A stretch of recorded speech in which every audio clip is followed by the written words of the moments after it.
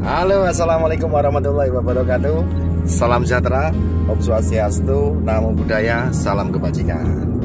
Oke, Mas Bosku, kali ini pada siang hari ini kita akan bolang nih bersama dengan Mas Rio, Blok M Kanari, ya. Jadi pada kesempatan kali ini kita akan uh, cek-cek harga, cek-cek harga dan cek-cek kualitas dari Kenari YS yang prestasi. Gimana Mas Bos? Wow. Penasaran nggak kira-kira? Pasti penasaran. Oke, kira-kira kita akan ke mana nih? Kita coba. Ini sekarang posisi ada di mana nih Mas? Salah tiga Mas ya? Salah tiga. Salah tiga ya. Salah tiga. Uh, mungkin bagi kalian penggemar kicau sangat tepat sekali untuk subscribe ya karena dengan subscribe kalian akan selalu dapat informasi terbaru dari video-video saya oke okay? uh, oke okay, mas bosku gimana mas? Kira eh, kira-kira apa sih fungsinya dari kita cari uh, memiliki ya memiliki memberi kenari Yorkshire yang apa ya istilahnya yang prestasi itu? Apa fungsinya apa manfaatnya apa kira-kira?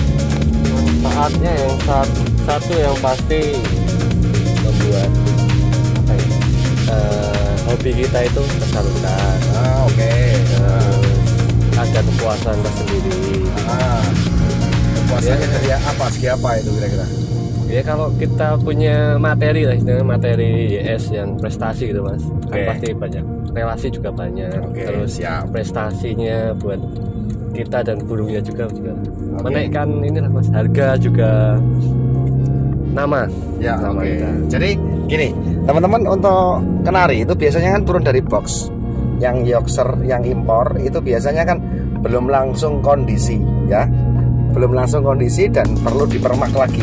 Artinya perlu ditingkatkan lagi untuk kemampuannya. Jadi tidak hanya uh, tidak ketika burung turun itu langsung bisa on fire bisa bagus secara maksimal belum. Ya mas? Betul mas ya, ya betul. nah kali ini di kita akan cari ya kita akan cari di mana sih kita kira di area Solo. Kita ke Solo aja mas ya, ya, ya. jauh nggak ya? Jam dari sini saja satu jam ya uh, simak terus video kami kedua dan nanti kita akan ke mana nanti kita akan lihat ya. Simak terus ya. Penasaran kan? Ya. Oke mas bosku sekarang saya ini berada sudah ada di Solo. Solo. Solo nya di mana bos? Solo sebenarnya masuk Sukarjo tapi dekat ke Solo. Oke. Okay. oke. Okay. dan tadi saya nyari-nyari terus ketemu akhirnya ketemu mas Diana Rido Diana Rido Mas Diana Rido rumahnya mana tuh mas? Aslinya? Saya Cemani masuknya Sukarjo kalau ke Solo deket banget. Ini juga ini juga main nano main apa? Lari juga kemarin ngambil di tempat Mas uh, Rian CRV ya siap. Mungkin kalau ada yang minat ya. juga masih punya kemarin. Iya. Oke Mas ini saya mau diajak ke mana nih? Ke saya kenalkan ke teman saya. Rumahnya mana? Juga, juga. Rumahnya ini? Banyak ya rumahnya ini. Oke namanya siapa sih Mas? Om Ad Dika Om Dika? Dika. Om Daka apa Dika? Daka, Daka, Daka, Daka, Daka. Ya. Gimana bos? Kira-kira uh, masalah nggak pengen main masuk ya? Tadi udah masuk. Oh, udah masuk? Oke. Okay. Materinya. Penasaran nih. Ini kebetulan nungguin Yorkshire dia juga. Uh -huh. ya, oh, ceritanya juga ceritanya beliau ini punya koleksi Yorkshire. Kalau punya koleksi banyak. Yorkshire lumayan. Kalau menurut saya ya lumayan banyak lah. Ya, jadi ada potensi untuk luar biasa, luar biasa uh, cakep cakep sekali untuk materinya dan cocok sekali untuk ternak ya, ataupun ya. lomba. Betul loh? Betul. Nah, berarti pas loh, Pas. Oke, kita langsung aja masuk ya. Oke, mau masuk. Makasih loh dikasih. Siap. Oke, langsung aja masuk yuk. Ya.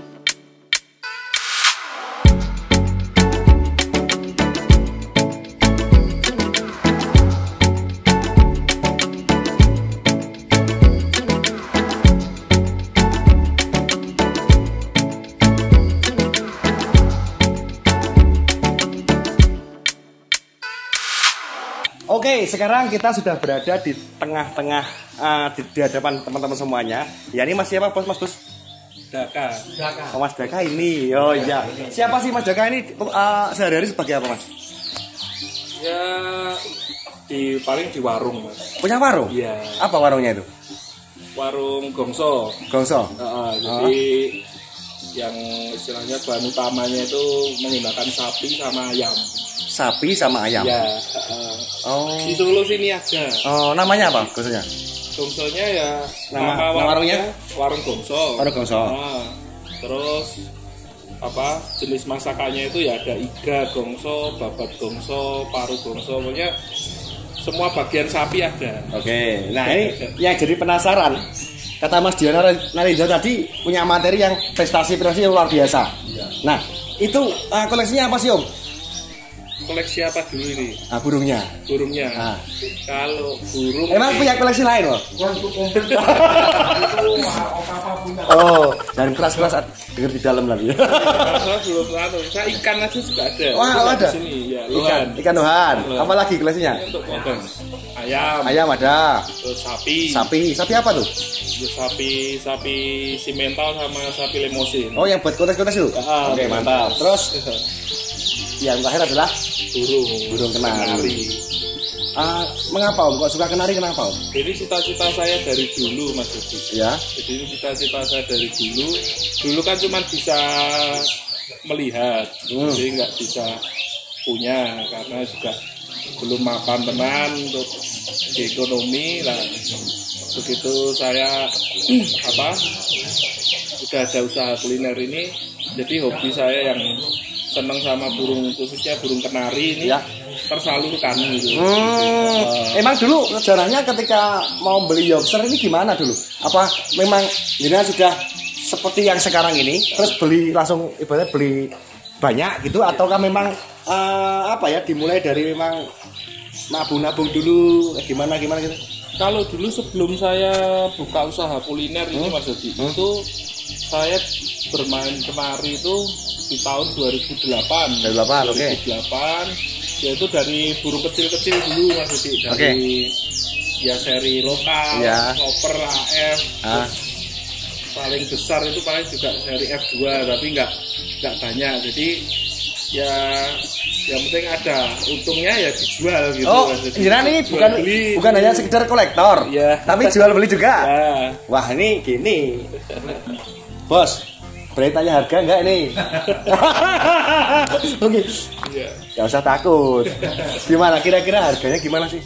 Ya kalau dari harga mungkin kalau teman-teman kenari mania kan tahu ya yang ah. impor harga range berapa dari berapa kalau tempat saya ini kan kok mahal gitu. Ya ah. Ya memang yang saya ambil ini kan pilihan. Oh, pilihan, ya? pilihan ya? dari yang terpilih gitu. Pilihan dari yang terpilih. Ya. Nah, Berarti yang terpilih itu dalam arti sudah uh, grade grade A ya, bisa ya, grade A ya. Bisa bilang seperti itu. Oke. Okay. Jadi kalau dokter dokter ini ya, pokoknya ada yang minat, ada yang seneng, ya monggo gitu. Oke. Okay. Ya. Kita lihat seperti apa sih yang uh, koleksinya dari milik Mas Daka ini, yuk kita simak ya. Oke, okay, Mas Daka. Ya. Ini IS IS IS jenis apa? Ayat dari negara mana ini? Ini TKF Turki. Ring Turki. Ah, jadi kalau yang sebelah sini sangkar ini ini tahun 2018. Oh ini. Nah, okay. ini karena ringnya warnanya merah ini 2018. Oh, 2018, oke. Okay. Nah, terus terus yang sebelah sini ini kebetulan mah lost ring ini. Lost ring. Lost ring. Eh belinya udah lost ring ya? Ah, dari sana ini udah nggak ada ringnya. Oke. Okay. Terus di sebelahnya sini lagi. Oke. Okay. Ini ring hijau ini tahun 2020 ini yang jadi. Oh ini, ya. Ini udah laku. Oh udah laku? Ah, udah laku. Lah kok belum diambil? Belum diambil katanya nanti ngambilnya awal bulan. Awal bulan, oke. Okay. Mantap Mas Bos ya. Nah, keren nih ya.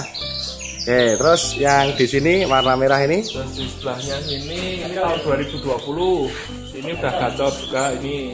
2020. Nah, ini teman-teman. Uh, di musim impor, user impor yang yang terbaru ini kita lihat di depan ya. Kayak gitu ya performanya luar biasa nih. Ini suka selfie loh burung ini. Ya kita lihat dulu sebentar. Mantap. Itu ring 20 loh, Bos ya. 20. Oh, jenengan berarti anu ya. Uh, memang sudah apa ya istilahnya? Sudah mendarah daging ya, ngerti kenari ya? Iya. Jadi ya cinta saya sama kenari itu cinta. Oh, gitu. Iya. Ya. Jadi selain dari postur yang di atas rata-rata, ah. yang ada di desa sini itu sama bentuk posturnya itu juga ada nilai tersendiri. Oke, okay. yang disasar jenengan itu nah. adalah yang dari postur atau untuk lapangan? Kalau saya, ya? kalau saya paling utama itu ya Nah karena sering main di gampangan juga, okay, okay. yang saya utamakan ya untuk yang jenis untuk lapangan dulu, Mas. Okay. Ya. Oke. Okay. Yang di sini Mas Bos? Kalau yang di sini ini tahun 2020 juga. 2020? Ah, ini ah 2020. Kebanyakan 2020 Mas jadi. Oke, okay, oke. Okay. Mas Mas Daka? Iya. Ini sudah laku belum nih, Mas? Iya. Berapa nih? Kamu Kalau ini kemarin nanti ini buat mainan dulu. Eh belum laku berarti ini ya? Belum. Memang belum digital. Tapi kalau mungkin ada teman-teman pemainnya di luar kota gitu, kalau cocok masuk ya? Iya kalau cocok. Woi, uh, tetap ya intinya uh, kualitas pembawaan lah ya. Iya. Bawa harga ya. Oke, ke sini. Ini juga sama 2018 ini udah laku juga itu sama 2018 oke okay. ini sama yang sangkat dulu tadi ini 2020 ya 2020 ini 2020 oke okay. dan di sana itu masih ada mas bos ya okay. di sana itu mau ya. ke sana boleh boleh boleh boleh monggo monggo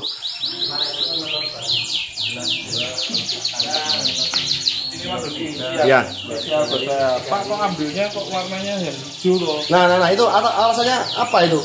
Bentar. Karena kalau teman-teman juga bilang itu ini Yorkshire Tempo dulu oh, posturnya. Oh, ini teman-teman ya, malah saya belum tahu nih. Uh, nah, ini ini Yorkshire yang jadi idola atau mungkin saat itu memang Yorkshire tahun berapa mas? Ini tahun ini tahun berapa ya? Model model Yorkshire saat itu ya? Iya. Uh, yang jadi idola saat itu ya? Iya. Dan mungkin bisa kembali lagi seperti dulu kan? Iya, ini kan ini kalau ini ring 2019. Nah, ya makanya ha, 19. Itu pun nggak apa saya. Yang penting posturnya angkut, uh, bagus. Oke. Okay. Idolanya para peternak biasanya postur. Oke. Okay. Terus yang itu? Ini ada double ring. Nah ini teman-teman yang dari double ring ini kita nggak tahu juga yang dari sana itu maksudnya seperti apa Kalau mungkin. Double ring kemarin ya. saya tanyakan sama Mas Diana Rido Ya, ya. Kalau double ring itu di sana itu uh, trah trah prestasi atau di ya, ya, itu ya. makanya di double ring. Ya makanya itu saya juga saya juga ada pertanyaan. Ya. Kenapa kok dibuat ring dua kan mesti ada rahasianya ya bos ya? ya. Jadi mesti ada, mesti ada, mesti ada sesuatu yang disembunyikan mungkin ya. Oke, okay. uh, berarti ring TKF juga ya? TKF juga. TKF, oke, okay, TKF. Terus yang ini? Ini 2020. 20. Oke. Okay. Ngomong-ngomong sampel nih, Mas. Nah. Ini harganya berapa kayak gini tuh? Kalau ini saya jual enam setengah. Jadi nggak mahal ya? Iya. Nggak mahal, Mas Bos. Nah, begini. Oke.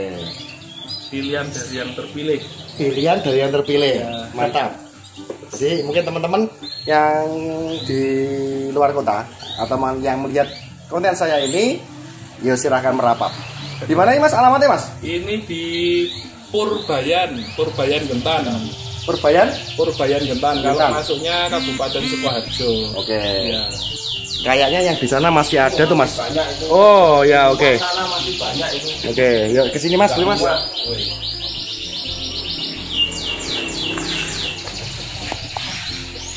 Oke, ini ternyata banyak banget ya yang yang yang jadi koleksi. Dan ini ada teman-teman uh, Mas Daka ini kayaknya juga pantau-pantau ini. Iya, teman-teman kenari. Oh. Ya. Mas ada yang minat, Mas? Oh, gimana gimana?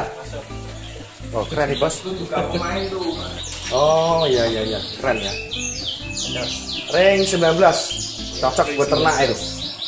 Dah, uh, bisa buat kerja ini oke mas ya mau tanya nih uh, jenengan dulu jenengan basicnya seorang pengusaha pengusaha nah, terus uh, apa sih manfaat dari kenari ini sisi lain dari dari sebuah mungkin hasil dari penjualan atau ya. mungkin ternak kalau yang ternak ya. ya. Kalau dari jenengan sendiri apa sih manfaat yang bisa diambil? Kalau saya manfaat paling besar karena saya seneng sama kenari. Oke. Okay. jadi jadi kalau saya pas lagi banyak pekerjaan atau lagi suntuk itu dengan saya kerja di ruangan saya situ kalau di sini ada kenari-kenari istilahnya ya kenari yoker ini ya saya tuh jadi apa selalu dapat inspirasi gitu loh Mas Edi. Oh. Uh, itu kalau poin yang paling saya rasakan rasakan itu itu. Oh. Jadi, tapi kalau laku untung ya itu bonus bonus aja ya iya. lah misalnya kalau punya burung kalau cuma diam aja nggak bunyi gitu apakah senang juga nah kalau saya jobster itu karena burung gede posturnya juga indah itu buat saya bunyi itu bonus. Oh gitu ya. Jadi tidak ada masalah kalau memang belum bunyi. masalah. Jadi oh, mantap ini. saya mantap ini. Oke. Terus uh, ini biasanya nih bosnya ini biasanya duduk di sana ya? Iya. Di sana itu kursi panas itu. Kursi panas. Kenapa kok bisa dikatakan panas mas? Ya kalau di situ pasti mikir terus. Oh. Oke. Apa sih yang dipikirin apa? Ya mikir gimana sih untuk mengembangkan usaha, usaha. ini supaya terus masih berkembang gitu. Oh, usahanya ada berapa sih? Untuk saat ini alhamdulillah ada enam outlet. Enam outlet di mana ya, aja tuh? Di enam outlet itu di Solo. Di Solo ini ada dua titik, hmm? terus di Karanganyar ada dua titik, di Klaten sama di Sukoharjo. Sukoharjo. Iya. Oke, mungkin kalau yang teman-teman ketemu warung Gongso, ya, ya inilah juragannya. Kalau mau tanya alamnya di mana, kalau pas mampir di warungnya malah mudah. IG-nya juga ada. Apa sih IG-nya apa sih? Warung Gongso. Warung Gongso. Ya. Oke, mantap. Oke. Oke. Oke. Jadi uh, sudah kita lihat ya. Alasan apa sih yang mendasari dari Mas Daka ini uh, memelihara kenari? Jadi selain tadi untuk memecahkan uh, apa namanya membuat inspirasi juga termasuk uh, jual beli juga. Merefreshkan otak ya. Iya, otak. ya, ya pasti itu ya. ya. Kalau jual beli itu hanya bonus saja ya. Bonus itu bonus. Jadi harganya bisa dikatakan nggak mahal. Ya kalau saya sebenarnya dari dulu itu kalau jual kenari itu malah jarang untuk bisa jual mahal itu jarang. Oh. Karena apa kalau ada tamu datang ke sini ada yang cocok, ada yang seneng, yang kamu seneng dulu intinya yang kamu seneng dulu, terus bawa aja.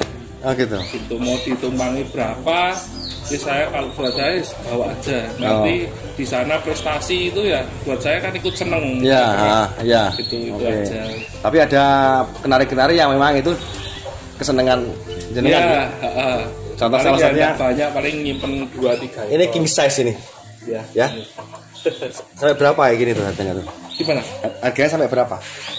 Kalau ini harganya saya nggak bisa hargain maksudnya nah, karena gimana? belum untuk apa ya belum, belum diorbitkan ya belum untuk dijual atau gimana kalau khusus yang ini satu ini oke okay. karena juga ini lost ring juga maksudnya oh, gitu. ada ringnya iya iya iya berarti yang penting senang dulu dipelihara di diri iya, oke okay.